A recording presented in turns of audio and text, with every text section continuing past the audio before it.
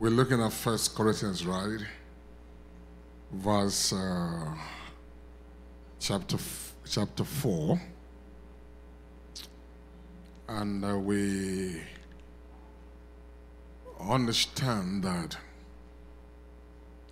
in service, responsible service, it is a must that you be found faithful.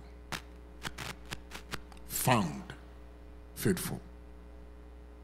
That means God can come in at any time into the sanctuary. Like this morning now, the Lord came in here. How many workers are still standing where the Lord put them? That's what they call unfaithful spirit.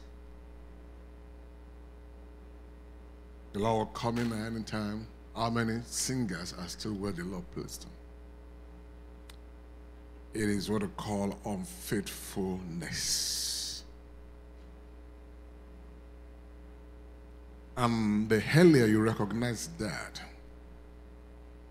the better for you so you can correct it. And when you do correct it, you are going to see what is called divine faithfulness. Because faithfulness is a character of God, is a nature of the Almighty. God cannot be unfaithful. It is impossible. Because that's who He is. The Bible said in Timothy that even if we are not faithful, even when we are very unfaithful in our weaknesses, that the Lord God abided faithful, 2 Timothy 2.13, because he cannot deny himself. So for God to be unfaithful, he is denying who he is. So his nature is he cannot be unfaithful. So when you commit anything to God's hand, you will find it exactly the way you put it in his hand. Even better. Somebody say amen. Amen. May the faithfulness of God be for your household this year. Amen. Oh, you're gonna sing a song of faithfulness. And everywhere, everybody, every person in the scripture who have discovered this nature of God, they are always blessed. They are always happy. Because that's where your joy is. That's what your happiness is. You cannot sing enough of it. You cannot be tired every day. That's what is made is called the house of David. David saw the faithfulness of the Almighty. Hallelujah. David saw it, he sang the song of faithfulness, Moses, Deborah, everybody. No matter the condition you find yourself, you can never, never go down to that condition as long as you are walking and trusting on the faithful God. So, faithfulness is a character of God. And the more you connect God, the more you relate to Him, the more you know Him, the more you are imparted by this character. So every every child of God should have what is in them, the spirit of faithfulness, because they are born of a faithful God. So in the name of Jesus, I believe God that you are going to enjoy, connect, and grow in His faithfulness. Amen. Say bigger, uh, Amen. Amen. Amen. So let me quickly define for you the difference between faith, faithfulness, and faithfuls. Well, let's go back to that first Corinthians chapter 4. And let's read from verse 1 to 5, or verse 1 to 4 quickly. Let's go. First Corinthians chapter 4.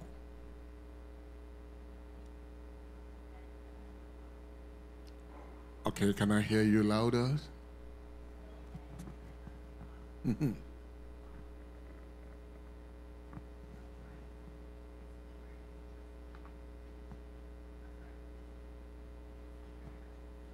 Amen. Amen. Yeah?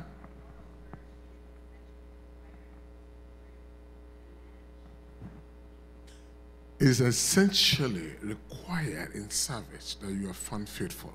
I pray anywhere God placed you this year, may God found you faithful. Amen. I, and I guarantee you, it's going to come in at times you are not expecting. Your faithfulness is going to be judged. God will come in, He will try. So you must be found, found faithful. And that is a must in service. What is a stewardship? Is responsible, accountable, committed service. And whenever God gives found so faithful, you are due for promotion. Every time, anytime God does not find you faithful, you remain on that same spot. And God will not demote you, but others will bypass you. So to you, you're looking back, but you're in one spot. But every time God finds you faithful, He must elevate. Anytime God comes and check the house and it's still the way you, you are, is either cutting down the tree or pruning it and giving new opportunities. So I'm believing God for somebody this year that you have new opportunities. Amen. But that is not because somebody prophesied and, and decreed, it's because you have been faithful in little. You have been faithful in what you think is little. What you think doesn't matter. The ushering, the armor bearing, the singing. People say, I've been doing it for years. No, it's not how long you've been doing it, it's how faithful you've been doing it. I've been in that church for 10 years, it doesn't matter. How faithful are you to the altar, to the covenant, to the vision? How faithful can you call yourself? And if your husband doesn't think you are faithful, it doesn't matter what you think you are. And it doesn't matter what you have done for this church. If the pastor does not think you are faithful, you are not. You're not. There's no way you can break it. You can glorify yourself. The Bible said every man is good in his own sight, but a faithful man can find. Your faithfulness is judged by somebody, not by you. No, not by you. You will say, I've loved you all my life. I serve my No, let us say, I know that you have been faithful to me. Because the time you are cheating on the internet, the time you are cheating on the other things, he or she is feeling it. But you don't know. Others will measure your faithfulness, and God will. So, but in stewardship, it is important. It's, why is it so important? Because your promotion depends on it. Your reward depends on your faithfulness in the kingdom. Your reward. You can blame anything for where you are, but listen to me, it's high time you start to blame your faithfulness or unfaithfulness. Anywhere we are in Chogi today, plus myself, it has nothing to do with the devil or God. It has to do with our impute to the things that God have asked us to do. And God will make sure you stay in one spot because God is not the kind of person that promotes you because of emotion. No. You can cry, Oh God, I've been serving you, I've been in church for 50 years. There are many 60 year old believers 30 years old believer who are still on the same spot till today and they're even going down. And there are very few who are just starting in one year and God is showing them because it's not in the hand of God, it's in your faithful character. That's why you have to learn this thing because this year, whatever God has spoken depends solely on this foundation. Gone are those days when somebody's going to be pushing you to serve the Lord. I'm believing God that the character in you will direct your steps. Hallelujah. Hallelujah. Your nature cannot be changed. Because you're just faithful. You are just faithful. Faithful means you are holding on, holding fast. You are steadfast. You are standing. You are continuing. That is what it means faithful. It means you are depending on something other than you, something outer. You are holding on to something. You are standing on something. You are depending on something. You are continuing something. You are keeping it. You are keeping, you are holding on to. That is what is called faithful. Faithfulness is a character, but faithful is an ability. Say, faithfulness Faithfulness is a character is a character of divinity of divinity which I have in me which I have in, me. in Christ Jesus. In Christ Jesus. I will walk in it. I will walk in I it. will walk in it. I will walk in I it. will activate it this I year. will I shall be called the faithful. I shall be called the faithful. It is from faithfulness you derive the ability to hold on, to stay on, to stand on, to keep on. Which means for you to become faithful, you are going to be tried. Yes, you have faithfulness in you, but are you faithful? For you to become faithful, you have to be tried. It's different from faith. Faith is an action. It's an action. It's momentary. But faithfulness is continuity. You can have faith to get something to activate the power of God because you believe. Faith is an action. Say faith is an action. Faith is an action. It's a response of your spirit, amen, to what you believe or what you have received. That is faith. Faith is obedience. If you God said a word to you and you believe in it and you have received that word unconsciously without thinking, you react. Faith bypasses your senses. Faith, you don't think when you are in faith. Faith is a quick response to the world or to God. That's when it says, when you believe in something, you have already received it. The second you believe, your spirit is already in motion. If you have not believed, it doesn't matter what you say. It doesn't matter how you act. It won't work. That's not faith. Faith is your spirit man that received that word, you believe it. You have the evidence in you. Something tells you. It's something called a gutter feelings in you that you know that you know is going to happen.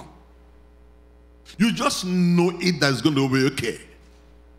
So you're just not worried, you're not thinking, so they bring all the symptoms to you, but something is just peaceful in you that I'll be fine.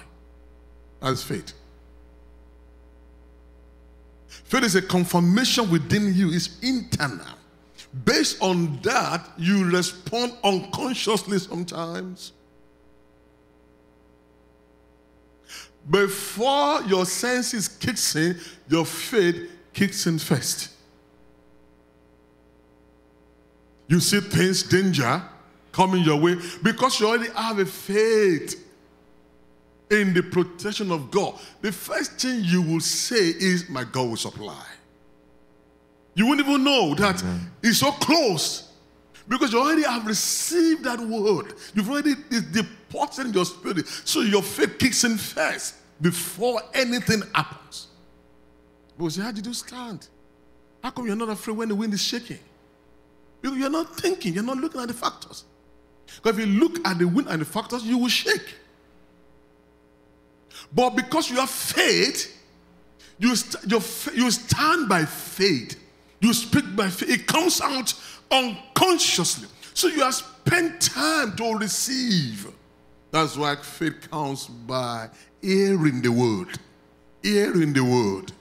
Faith is an action that provokes divinity into action. Somebody say amen. Amen. Faith is an action that provokes divinity into action to act for you.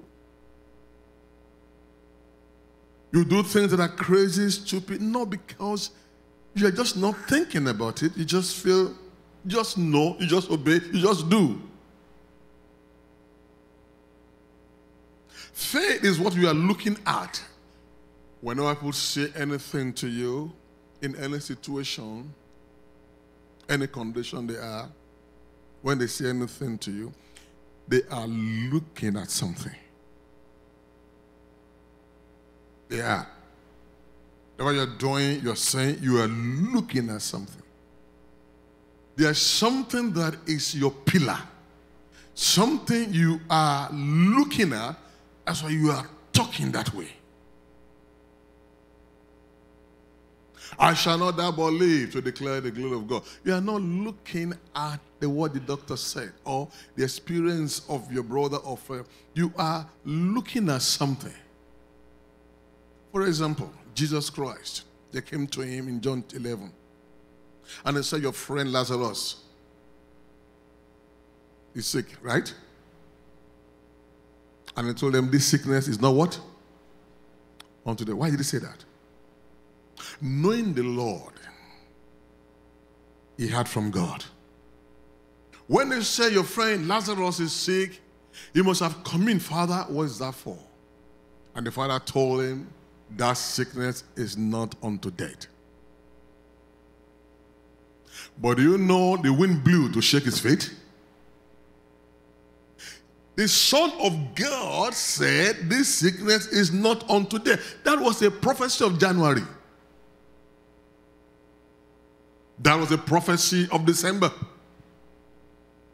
You are going to be blessed. You are going to rise. What happened? Condition came and said, No.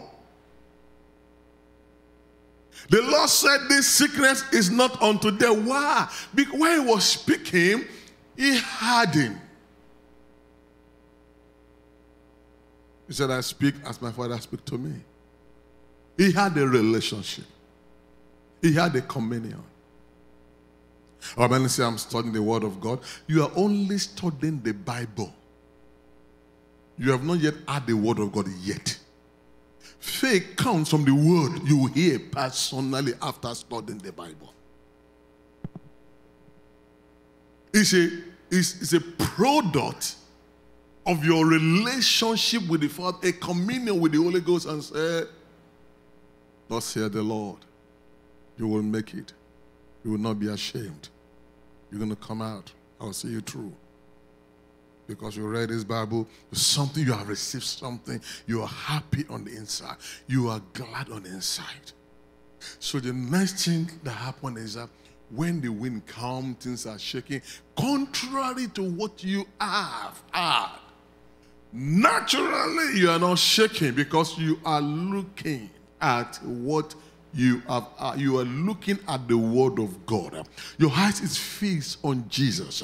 Is the author and finisher of your faith. Your eyes is on christ but many believers today their eyes are not on christ. Their heart is not on the word. No no no no no. They come to church they sing hallelujah kumbaya hallelujah but their eyes are not how do you know Lazarus died.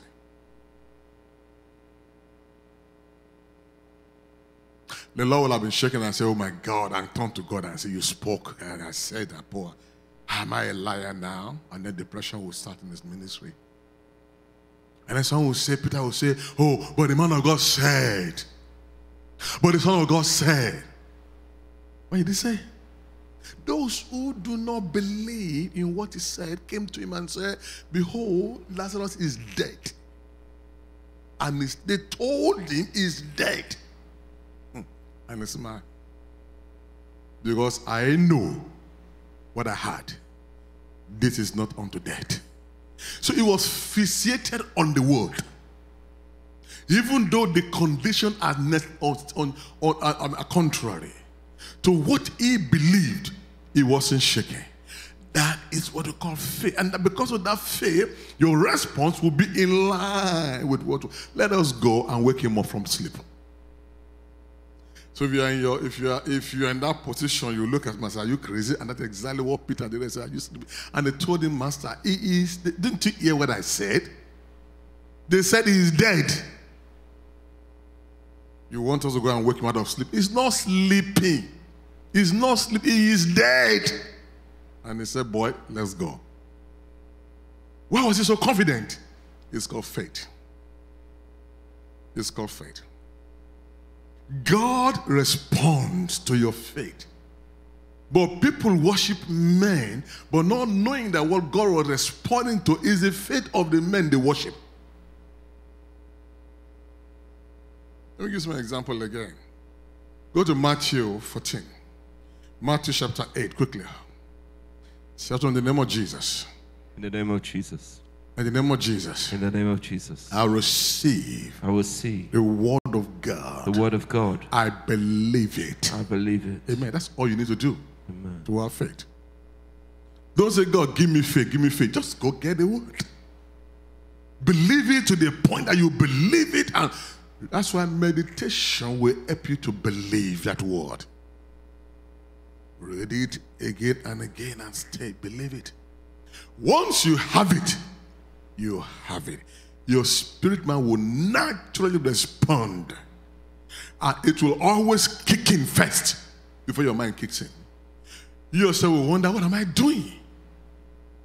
Why am I at the embassy talking to me like this? What's wrong with me? After you have won the testimony.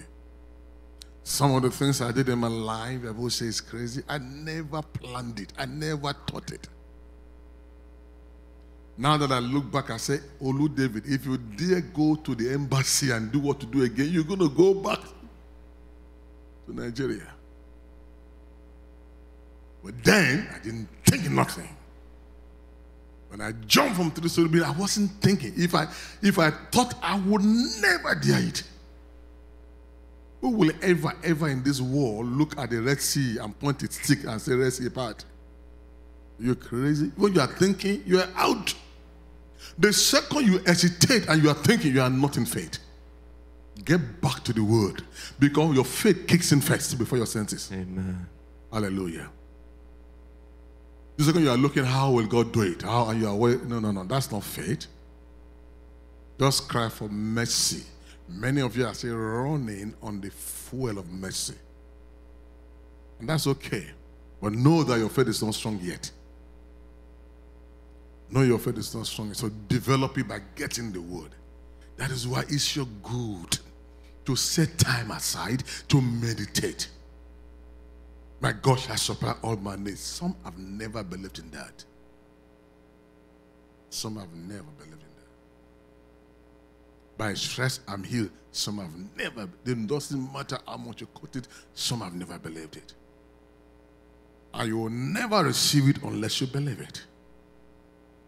So they take enough time to stay on the word and read it until you know that this is true.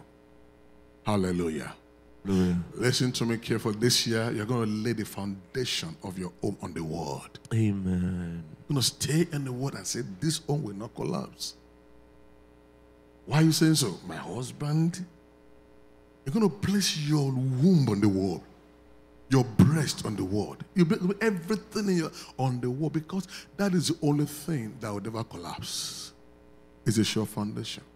When looking unto Jesus is the same as looking unto the word. The same thing. You see, when you put when you get in the morning, everything is so contrary.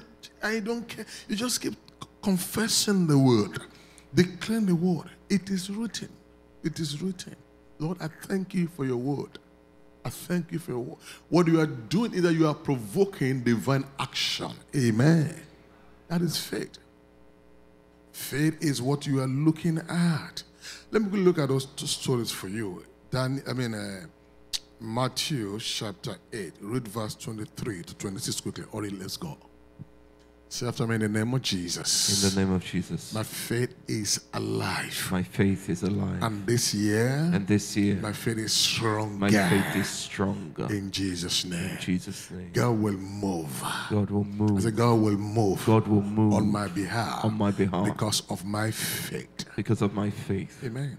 Amen. Matthew 8, 22, 26. Let's go, let's do quickly. And when he was entered into a ship, his disciples followed him. And behold, there arose a great tempest in the sea, insomuch that the ship was covered with the waves, but he was was- asleep. The ship was covered with the waves, and the Lord was asleep. The Lord was asleep. The wave was beaten. The Lord was quiet. It looks like nothing is happening. It looks like the Lord is not there. Have you ever been in such a situation in your life when you say, Where are you, Lord? It looks like, oh God, what am I doing? I'm a child of God, my minister. What, what is look at the Lord is not doing. You are pray, pray, pray, pray, pray, pray, pray. It looks like nobody's answering. The Lord is asleep. And what did they do? Go ahead. And his disciples came to him mm-hmm. and awoke him, saying, Lord, save us, we perish. Lord, saved us, we perish. That is a good thing to do, right? That is called intercessory prayer. That's called prayer from your heart. God, I'm dying. No, God forbid I'm not dying in Jesus' name. God forbid. God, they are dying. They are perishing. And they woke him up. They woke him up. They woke him up. And someone will say, Oh, the Lord is arisen now. Arise, O Lord. Testimony, we prayed and fasted. God woke up. Yes, that is great. That is good. But it's not the best for the sons of God. Amen. That's not where God wants to take to a new realm where faith is so dynamic. It's okay to pray and ask Him to wake up when you're about to God. That's okay to pray and fast. Then the last response to them should have been, Thank God you woke me up. Thank God you woke me up. Wonderful Son of God. You just woke me up. You, you, you, you believed in me. No, no, no, no, no. That was not his response. How did he respond to them? And he said unto them, Why? Yes. Eh? Where are you what? Fearful. Fearful. Which means all the while they were crying. What was motivating their cry, the foundation of that prayer was fear. The foundation of that prayer and fasting was fear. That is how Job lived his life. Job said, The things I greatly fear has come upon me. He said, That which I was afraid of has come to me. He said, I was never in safety. He said, I never took my rest. Neither did I keep quiet, but yet trouble came. So all this while he was offering prayer, sacrifice, he was afraid he would lose them. He had expectation that something will happen, and it happened. His lifestyle was, was a lifestyle of fear. Things will go wrong. So let's pray. Oh, I don't know. So the foundation they were standing on was not faith, it was fear, but they are doing all religious things. That is what the disciples were doing. They woke him up and said, Master, care not that will perish. And he awoke. Let's see and say, let's what they say. Go ahead. Yeah? Why are you fearful, O ye of little faith? Why are you fearful? So in our time, because all his journey with them was to train their faith. If you're a disciple today, open the Lord, open to the Lord to train your faith. Why are you fearful, O ye of little faith. Little faith is not good for you. Somebody say in Jesus' name, In Jesus' name, my faith is stronger. My my faith is faith is stronger. stronger. Oh, you have little faith. Why are you fearful? And then they broke the wind. And what happened after that? Instead of them looking at their faith and walking on their faith, they turn into, let us worship him. That's what people do. When they say man of faith do great things, they will rush after them.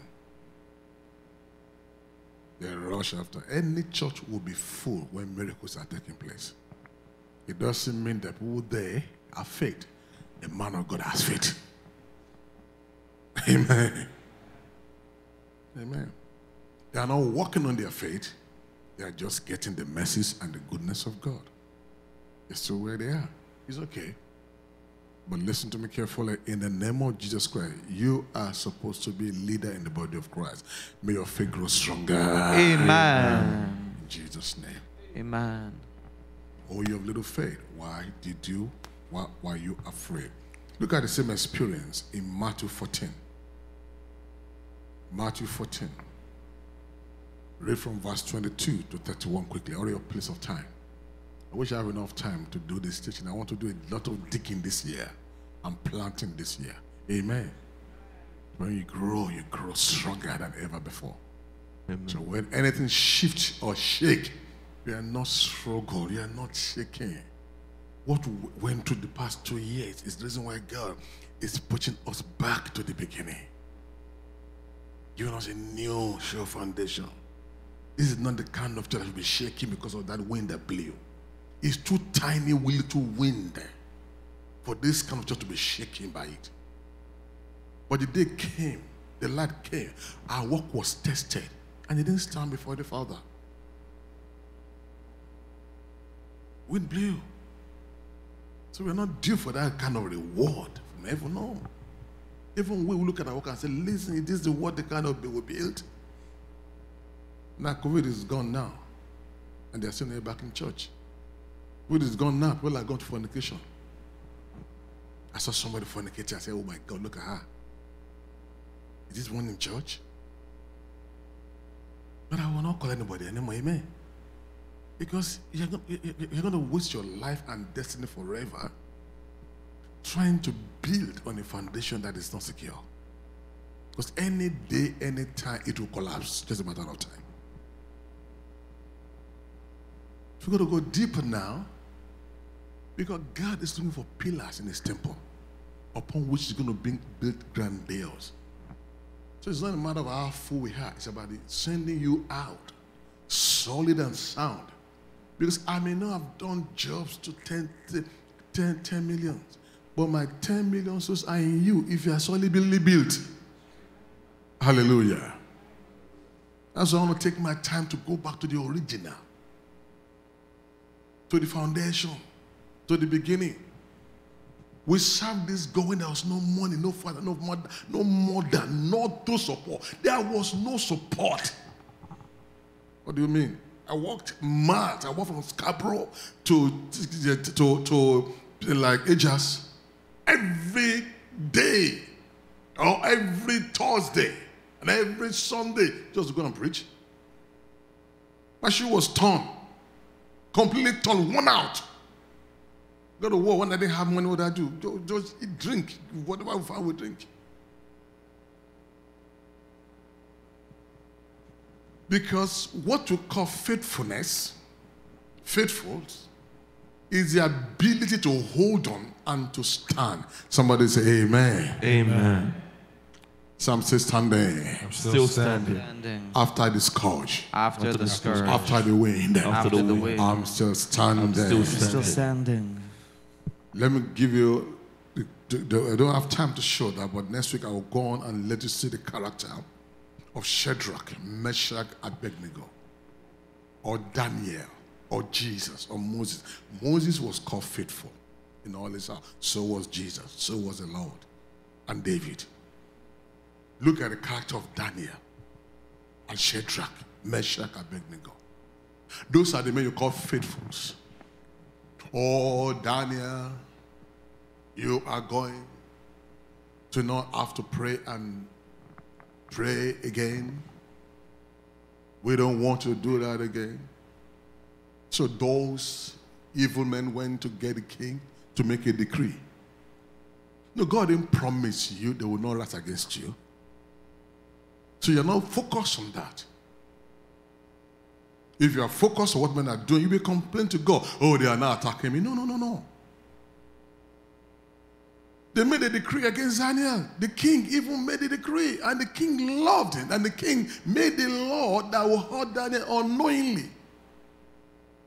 And they set him up, and they came and they came and told the king, "Oh, your servant, one of these slaves, is praying three times times a day." And the king did everything he could to save him because he loved him. Thank God for a king. May the favor of the kings of this land come towards you in Jesus' name. Amen. The king was so, so, so wanted to say, but he couldn't break the rules and the law of medicine of the Media uh, and, and, and, and Persia. And then so he, want, he had to send Daniel into lion's den. And one thing, and one thing the king said, he said, Oh Daniel, the God whom you serve continually. He saw a man continuing. Somebody steadfast. Ability to hold on to the word, to keep on serving, to keep on doing is called faithful.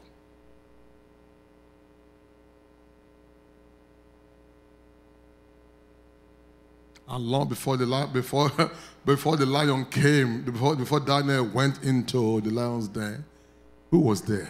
The angels of God were there. God did not say you will not go to trouble. He said you will find me there. It will not touch you. It doesn't matter what they do, but your faith is on who that is faithful. You're, oh, you are holding on to the word that is said. I've seen Mama hold on to the word for two years. That's what the faithful do. Faithful are there to hold on. That's what Shadrach, Meshach, Abednego do too. Worship the God of God. We are not going to do it. Even if our God says he won't deliver us, we will not. And the king was angry and said, you know what, make it seven times altar. And I said, and someone I've told them this, Daniel, listen, it's oh. auto. this kind of fire will burn you alive. Oh. and then right as we are throwing them in, those who threw them in were burnt alive. One of should have said, No, no, no, no, no, no, no, no. No, God didn't say the fire will not be hot. He didn't say darkness will not cover the nations. He only saying, What are you going to stand on in that day? Me or your beauty or your salary. He didn't say COVID will not come again. What are you going to stand on when it comes? What's your foundation? But those guys said, Our God, whom we serve. And when the king brought them up, you see the king said, Wow, the God of Daniel, the God whom they believed, whom they serve. Hallelujah. Faithfulness is God's character. The faithfuls are those who hold on to his word. Amen. Hold on to his nature. Hold on to his promise. Who trust in his faithfulness. They are the Sarah who judging faithful. Hallelujah. Who remain where they are, trusting the Lord, and they will never be ashamed. Amen. In Jesus' name. Uh, this year, no wind will shake you. Amen. No sun will shake you. Amen. No enemy will destroy your life. Uh, in Jesus' name. May your faith stand stronger. May you be called the faithful. And may the God of faithfulness show himself good to you. Can I hear loud amen? Amen. Amen. Thank you, Papa.